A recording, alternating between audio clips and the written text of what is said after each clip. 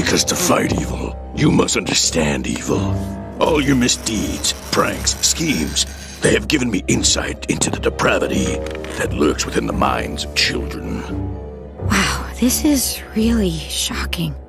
I thought there'd be more. This smile. I will protect this smile. I will fight you for this smile. You will not hurt this smile. For you see, there are some things in life worth protecting, some things worth living for, some things worth dying for.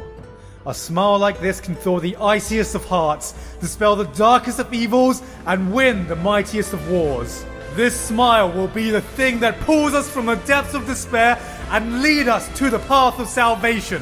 Wars will be fought, people will be saved, and civilizations will prosper because of this smile. So from this day forward, I solemnly swear to shield this smile from all harm that may come to it, all dangers it may possibly face, and give my life for it if needs